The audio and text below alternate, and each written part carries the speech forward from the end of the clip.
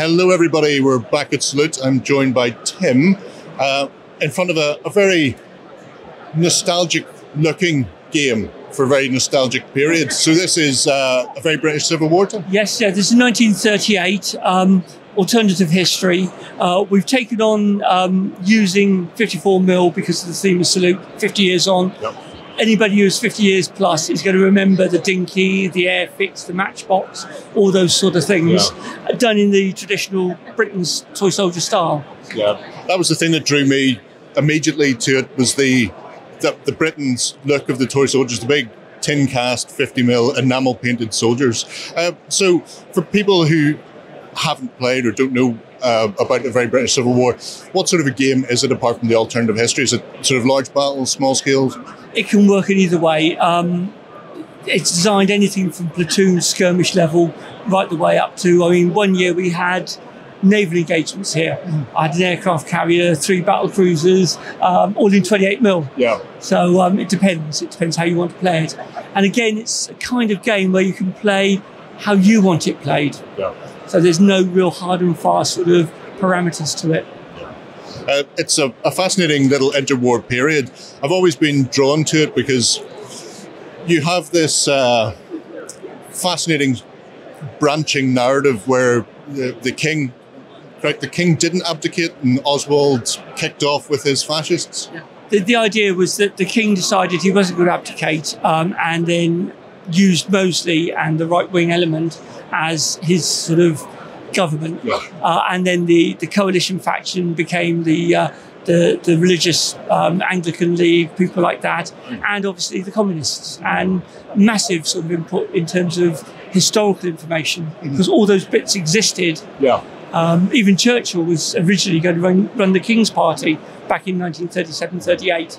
So it was very much based on a sort of history that could have happened. Yeah, could have happened. So, what is the scenario set up for the, the people to see today here at Salute? Um, well, what we're going for today is um, we're, we're taking a bit of Jeeves and Wooster. So the originally um, Sir Roderick Spode, who was their character that was um, lambasting, um, lampooning uh, Mosley, Yeah. he formed the Black Shorts, and he's out for electioneering. So he's on the table already. So we have these chaps in black shorts there. Um, his weakness was the fact that he is, as, as a leading fascist leader and possibly dictator of the country, also ran a ladies' underwear design firm in Bond Street, Eulalie Soeurs. Yeah. And whenever Jeeves wanted to stop him being a bit too over the top, just had to whisper, Eulalie Soeurs, sir. And you can see there are a number of posters as objective markers that have to be removed because we can't have our dictator being sort of lampooned like that. So that's the idea behind it. Uh, it's a fascinating setup. I absolutely adore the use of the, the the 54 mil as well. It's something that is starting to creep back into gaming. I've seen uh, Mark Copplestone recently has started doing Mark's Little Wars. Yes. Um, so everything old is new again, and it's, it's always nice to see a new way or a new way of showcasing older figures to people. Because I think sometimes there's always the idea that the sort of the old school single cast metal figures um, are to be sort of shunned in favour of the new multi-part plastics and that sort of thing. But uh, but I always like seeing the old on the table. It just has such a great look to it. Yeah, and I think the thing is, um, it goes back to the old days of when you were having to think about what you were doing with the figure. Yeah. You get the Airfix magazine and Charlie Catchpole, and how do I convert that First War German to a, a British infantryman in the Zulu War or whatever? And this is very much like that. And I think that's the nostalgia bit that kicks in. Um, nowadays, as I said something earlier, you can you can think the most obscure conflict, and there'll be both sides, but not just one or two figures, 50 figures yeah, of each side. So this sort of makes it a little bit more back to the old old ways. Yeah. Have to improvise, adapt, and overcome. Yes. Yeah. Uh, it's it's a pleasure speaking to you. I hope you have a fantastic salute, Tim. Thank you very much. Uh, what do you think of this, guys? Let us know below, and uh, we're going to prowl on and see what else we can find for you. Hello, folks. I'm at Salute, and I'm joined by Andy Cal, Lord Callan, sorry. Uh, and we're over here at uh, a stunning table set up for Nevermind the Billhooks, uh, which has just had its second edition, Andy. That's right. The uh, the Nevermind the Billhooks Deluxe, or Billhooks Deluxe as we call it. Yes, the original game was just Wars of the Roses, but the book now takes it into the Hundred Years' War and the Italian Wars and things around there. So you've got anything 1350 to about 1525. Um, so that's been out a few months now. Uh, here we've got one from the uh, Italia chapter. Uh, so this is the Italian Wars, about about 1500. We've got uh, a small, rather scratch and weak-looking Italian force about to be overwhelmed by some veteran Spanish coming down the pass. But they might give them a bit of a fight before they get there. Here we've got a couple of ships, just as a hint towards what's coming out next, which is never mind the boat hooks, which is going to be uh, a free colour supplement with the June uh, 2023 issue of War Games Illustrated. So, for people who haven't played uh, Nevermind the Billhooks before, uh, what sort of scale are you looking at when it comes to the actual tabletop game? Okay, you're looking at armies of about 80 to 100 figures. Um, uh, your game should be playable in about an hour and a half, so or even shorter if the dice goddess wills it. So, for example, the other night on Thursday night, I, I got through two games in two hours, so that's really good going. So it's a, it's a it's a quick, dirty, and uh, very uh, luck-based game. So it's all on turns of the cards and rolls of the dice. So you don't mind too much if you lose. So you just want to have another go. Yeah. And when uh, Boat Hooks comes out, then are you looking at a similar sort of model count, but on, on, ships. on ships? So you're still looking about 80 men, but maybe, maybe four or five? Maybe a few less. You're going to have four or five ships, each with about 18 to 24 figures on. So yeah, it's going to be about the same. Yeah. Yeah. I've been looking forward to that whenever my subscription comes in. Uh, it's a beautiful setup, and I absolutely love. Never mind the bill hooks. I've got my deluxe edition at home, but I haven't even cracked the spine on it yet, unfortunately. Um, but yeah, folks, if you haven't checked it out, it's a, a fantastic system for getting really interesting uh, historical games onto the tabletop because you have a really nice clash and sustain. You don't have one huge unit sort of running rampant throughout the entire battlefield that you get in some games. Um, it, it gives you that real feel of the grind of historical warfare. So yeah, definitely check out Nevermind the Bill Hooks and keep your eye out for uh, June. June edition of War Games Illustrated. June's War Games Illustrated yeah. for the uh, the free boat hooks. Absolutely. Good good to talk to you. Thank you very much. Thank you very much as well. All right, folks, if you've any questions, pop them below. We're going to move on and speak to you again soon. Bye bye. Hello, everybody. We are back at Salute once again. I'm joined by Mark from yes. Ardhammer and uh, an interesting table with some interesting figures on it. So, do you want to tell us what the battle is or what is deployed on this board? And then, then we'll get into the figures and the rest after. The the battle, it's a Seven Years' War battle, 1758. It's the Battle of Domstadtl, where the Austrians attacked a Russian supply column, which was 45 kilometers long. Um, they captured it and most of the men. Mm. And the Rus- and the Prussians didn't even know they were there. so that's what it's depicting. So, now that that's out of the way, flat miniatures. Yes. I'm a fan of flats. I was on holiday in Sweden last year and I went to uh, their army museum. And in the upper uh, upper level of the army museum, they have a history of flats in Sweden from the 1500s onwards. And it's unusual to see, especially in this day and age, actual metal flats. So, where did this come from? Um, I first got a collection of 600 Prussian and Austrians back in 1979. 60 quid's worth, which was a bargain. Um, and I've just been collecting them ever since. Um, I fell in love with them and they're unusual. But in the 60s and 70s, flats were quite common because yeah. a lot of them, the lads who gained, men who ga- gamed, mm. were in the armed forces stationed in Germany. So they bought them when they were in Germany. Yes. But after about late 70s, um, they were a bit harder to get, so they lost popularity. So you very rarely see them. And because it's the 50th anniversary of the Salute Show, I thought let's have a bit of nostalgia and do a bit of a retro thing. So I brought the flats, me collection of. This is the first time they've actually been out in public.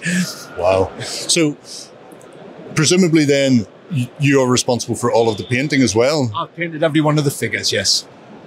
How long has this been going on for? Because it, presumably you're not still adding to this. Well, there wa- was another box arrived from Germany yesterday. yes, I am. I'm, I'm adding to them. Um, as I say, I've been collecting for 43 years, but I actually only started painting them at the uh, COVID lockdown.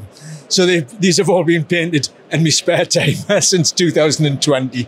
I tell you what, the amount of gaming tables that I've seen over this this day where I've heard that it's it's been a a monumental task has been aided by uh, not being able to go out and and uh, waste your time doing fun things. Well, I'm actually a professional model figure painter. That's what I do for a living during the day. This is done in my spare time.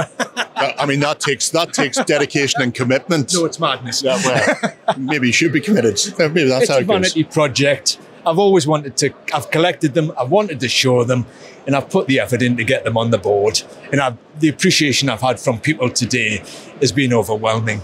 Men who said, "I remember these back in the '70s." Young lads who are looking at them and going, "You can't understand why you can't see the figure from back to front," and it's been fascinating.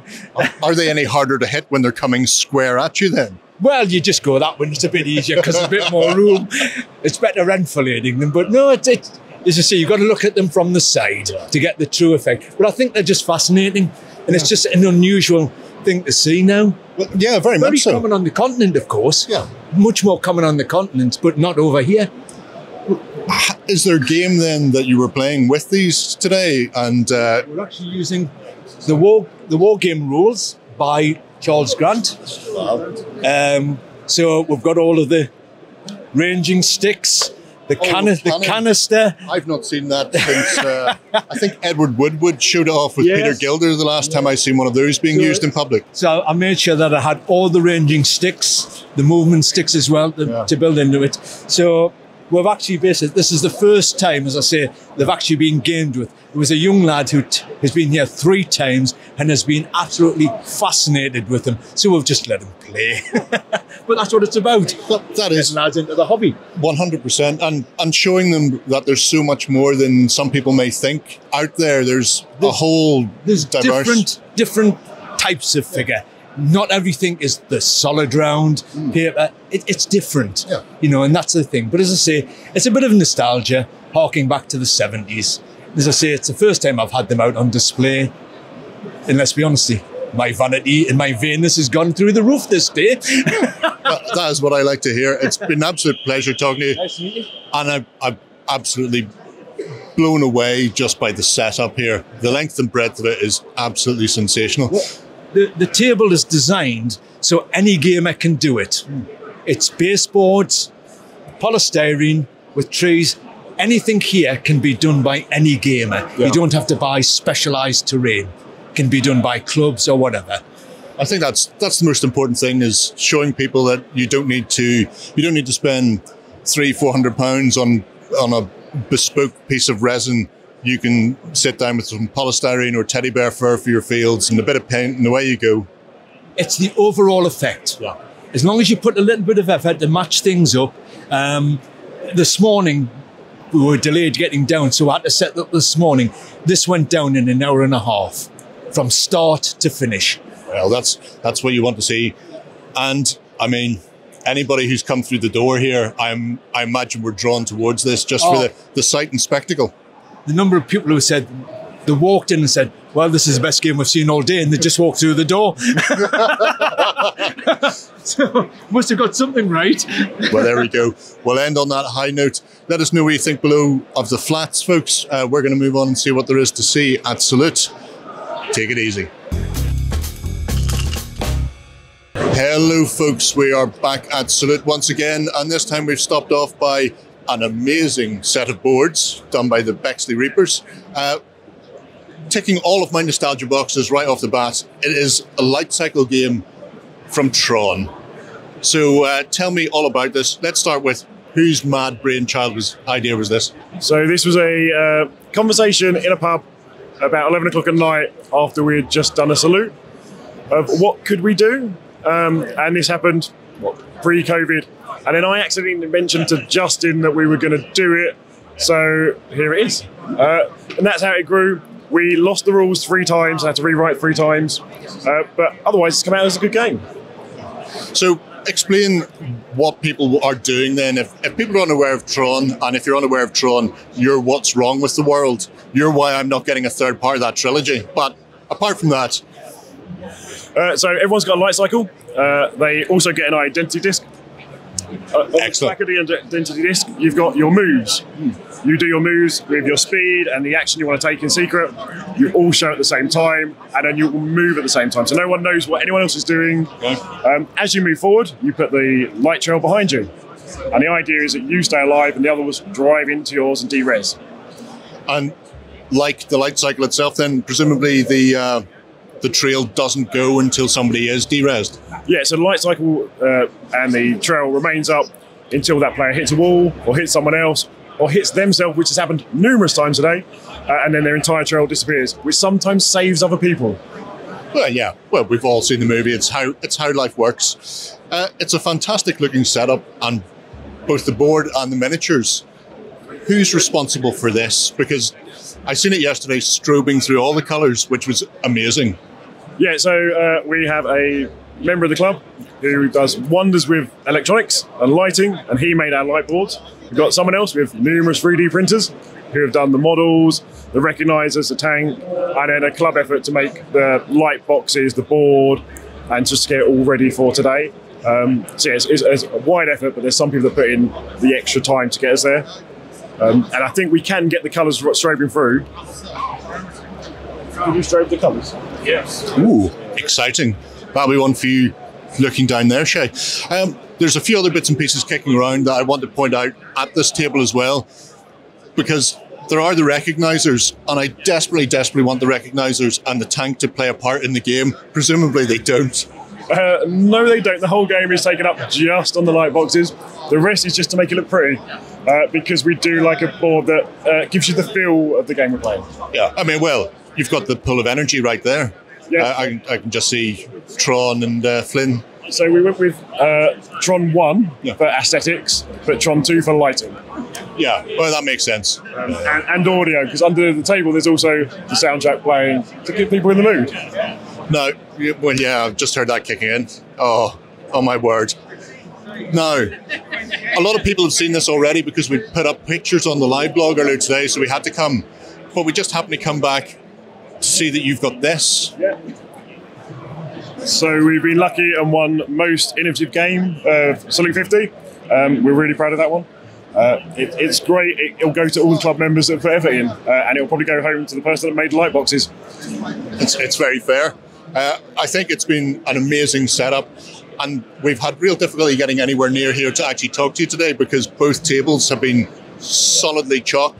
And I imagine in a minute, Shay's going to be muscled off to one side so that people can continue to play. Yeah, I can, I can see a queue forming. So um, yeah, well, we're carrying on. We're here all day, and it's been three deep at times. So there's only seven of us running it, so we have to take time to try and get through them. Uh, one final thing. If people want to find out more about the Reapers, who are you? Where do you live? Where do you game? Uh, Bexley Reapers Wargaming Club in Bexley, South East London, North West Kent, depending on how people like to say it. Um, we play everything. We don't really have a set game.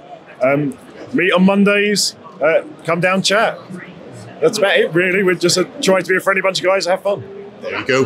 Uh, I think this, in and of itself, should be worth people's time in seeking out the Bexley Reapers. Uh, it's been magnificent, and it's really great to see that they've got an award for their trouble as well. Uh, let me know what you think, Blue folks. We're going to head on and see what else there is to see.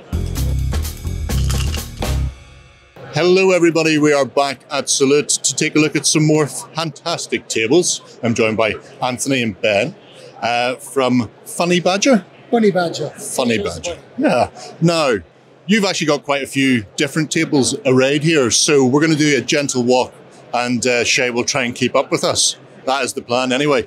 Who wants to explain this magnificent beast to me first? Well, Snit's Revenge, um, originally 1977 Steve Jackson games.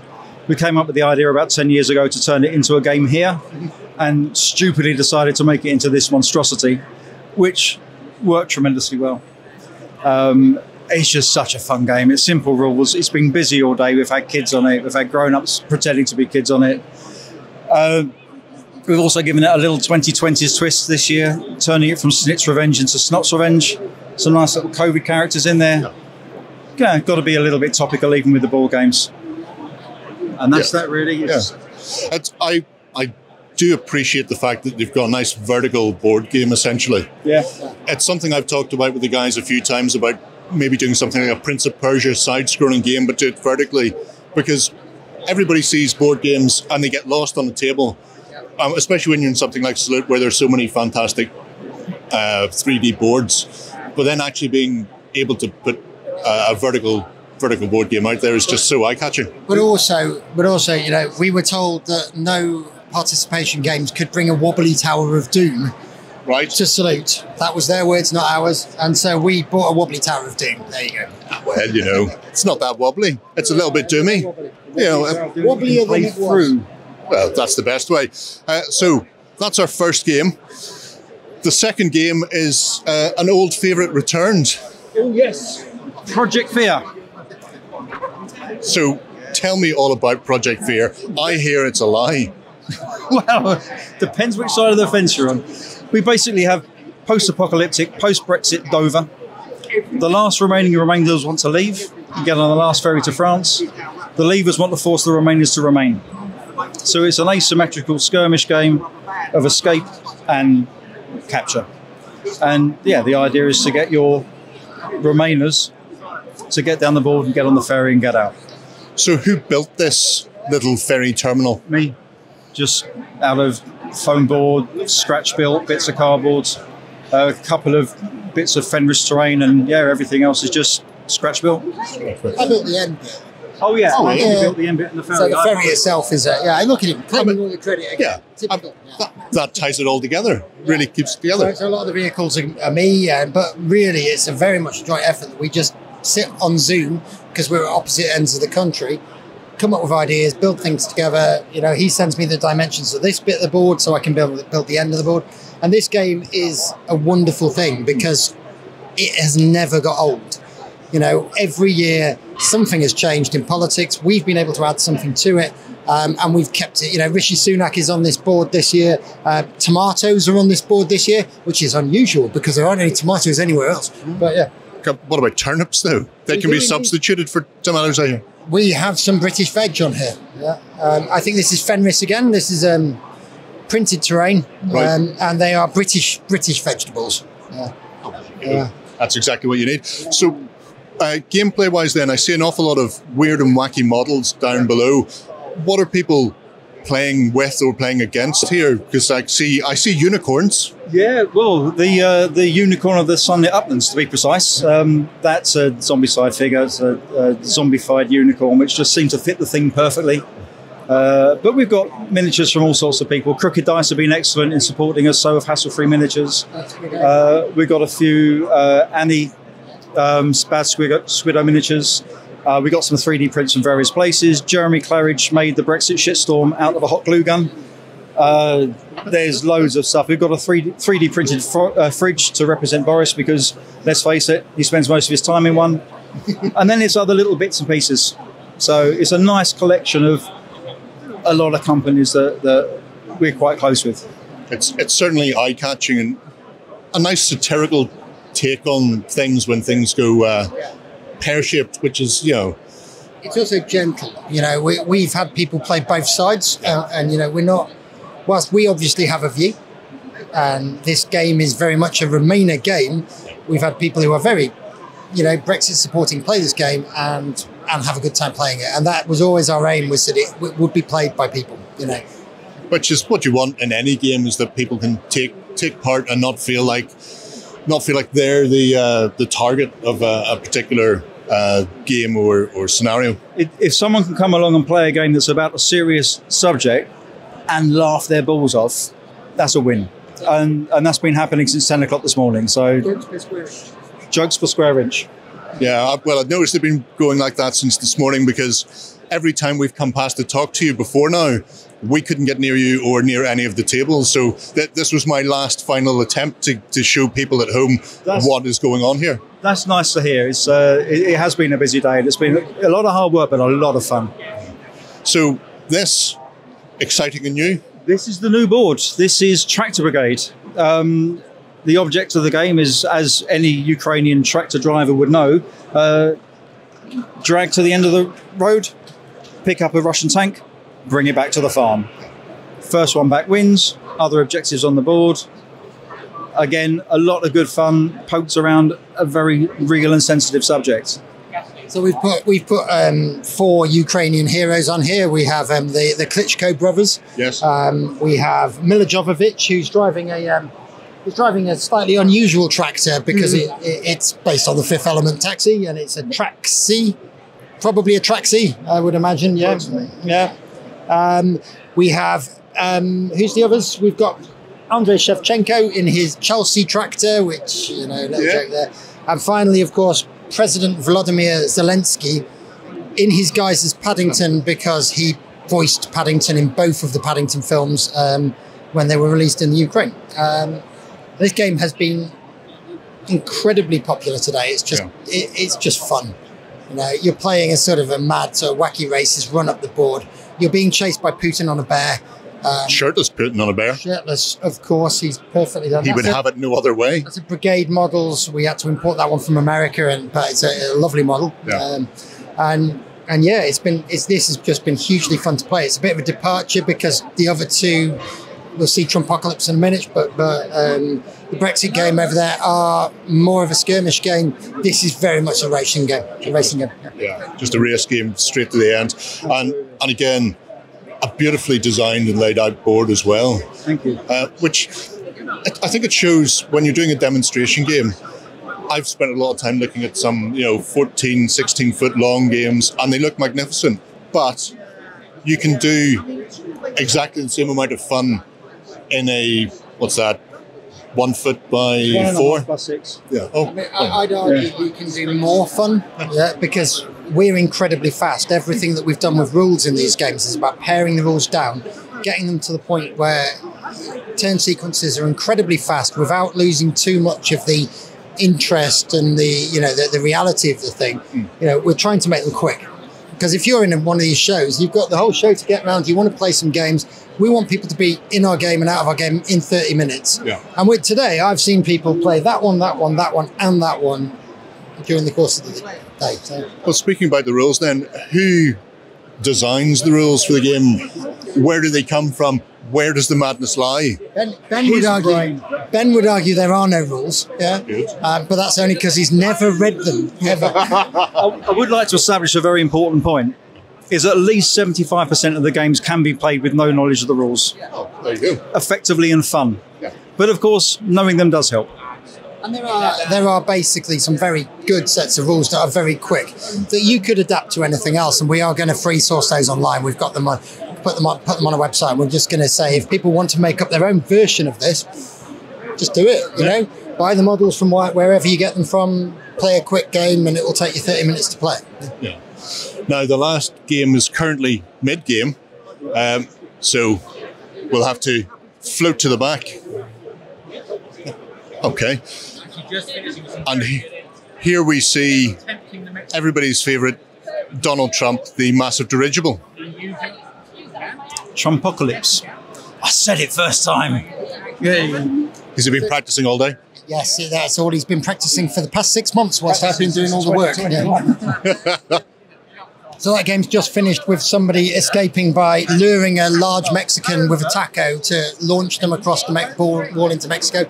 I mean, in a way, this is very similar to the Brexit game, but it's got a bit more of an escape room about it. Yeah. So you search this board whilst fighting off Trump's minions, um, and you search the buildings and vehicles, and you are, you find objects, and then you have to work out how you'll use that object to cross the wall. Obviously, we have an idea about how it can be used, but we'd perfectly happily take anyone else's idea. So there's there's a element of uh, sort of role playing with it. If they find a, a spanner, then it's up to them how to use it. So, so for example, to get over on the on the on the seesaw that's built in the wall there, which is something that actually happened to the wall for Mexican and American I remember seeing it. Yeah. We are a taco.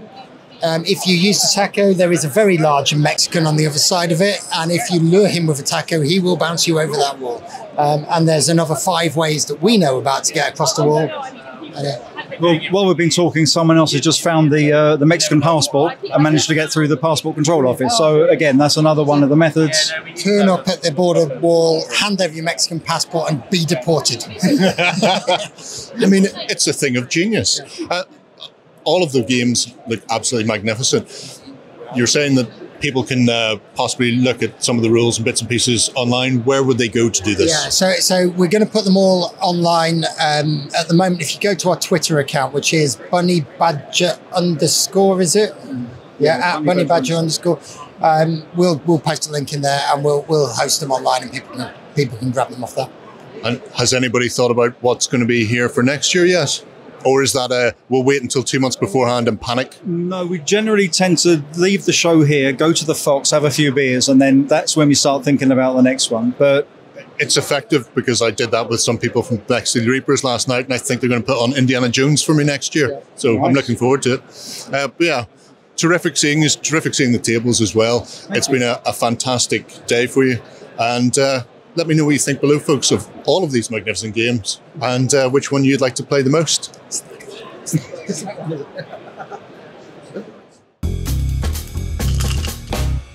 Go ahead and check out our other content on screen now. And while you're at it, why not hit subscribe and remember to ding our dong. Go on, you know you want to click it. Go on.